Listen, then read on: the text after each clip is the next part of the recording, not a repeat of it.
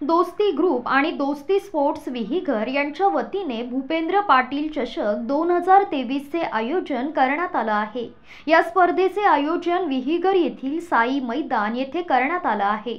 यावेळी या क्रिकेट स्पर्धेचे उद्घाटन भारतीय जनता पार्टीचे पनवेल तालुका अध्यक्ष अरुण शेठ भगत यांच्या हस्ते मंगळवारी करण्यात आले. विहीगर येथे आयोजित क्रिकेट स्पर्धेत बत्तीस संघ सहभागी झाले असून ही स्पर्धा एकोणीस ते चोवीस डिसेंबर या दरम्यान रंगणार आहे.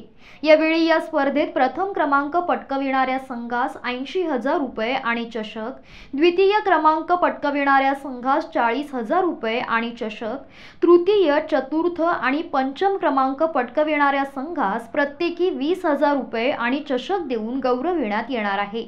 यावेळी पनवेल पंचायत समिती माजी सदस्य भूपेंद्र पाटील पनवेल तालुका उपाध्यक्ष संजय पाटील अमित जाधव वाजे सरपंच राजेश भोईर वाजे उपसरपंच रेवन पाटील आयोजक सुनील पाटील चिपळे सदस्य धनंजय पाटील अनंता वाघ राजेश पाटील यांच्यासह इतर मान्यवर आणि पदाधिकारी उपस्थित होते. अशा या भव्य दिव्य अशा मैदानावर आम्ही जाताना चर्चा केली. संजय पाटील की आम्ही एक अतिशय चांगलं मैदान या ठिकाणी खेळाडूंना खेळायला मिळत आहे.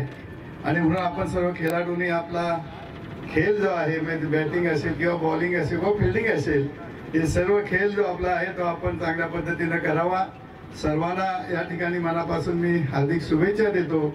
आणि जे प्रेक्षक आलेले आहेत त्यांना सुद्धा आपण चांगला खेळ दाखवून त्यांचं सुद्धा चांगलं मनोरंजन व्हावं.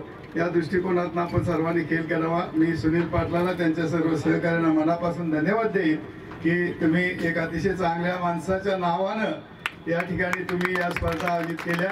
त्याच्याबद्दल तुम्हाला मनापासून धन्यवाद. आणि भूपेंद्र पाटीलला पुढील वाटचालीसाठी हार्दिक शुभेच्छा. त्याचं अभिनंदन.